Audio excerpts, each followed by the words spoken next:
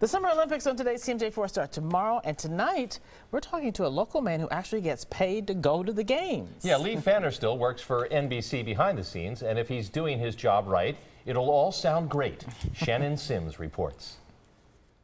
Lee Pfannerstiel is in charge of audio. His work maintains the beauty of sound attached to sporting events, including the Women's Gymnastic Olympic Trials. There were over 85 microphones um, placed around the different apparatus. Without that, as a viewer, you would notice it. It's like when the ball goes through the hoop during basketball, you hear it. Well, that's because there's a microphone right by the hoop for, uh, for games. When Lee isn't in remote corners of the globe working sporting events, he's the director of video services for the BMO Harris Bradley Center. He started there two weeks after the arena opened, and from there launched himself into providing audio at major sporting events. So here's a sampling of everywhere I've been. I've done eight Super Bowls. I've done five Stanley Cup finals. I've been nominated for six Emmys and won two. Um, and this will be my fourth Olympics. His favorite Olympic experience, the London Games in 2012.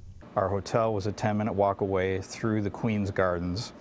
So it was just a, a beautiful experience. In Sochi, Russia, he ran into a language barrier with a coffee maker. It was all in Russian, so nobody had a clue. So we'd kind of huddle around and watch, you know, you push this button and see see what comes out. In Rio, Lee and his hand-picked crew will be working in the gymnastics venue. They have used the last week and a half to set up and rehearse. It's the only day where we kind of get a break is opening ceremonies because that's the only thing going on at least at night. They put in 12 hour days for 16 days straight. Things get really exciting when the medal round begins. There's one girl, I think she just turned 17, and you think about what they're going through, and uh, just winning that medal has got to be just just awesome. He admits the month away from his family is always hard, but maintains it's worth it. To be a part of something like that, that's uh, it's an incredible thing to be part of. Shannon Sims, today's TMJ4.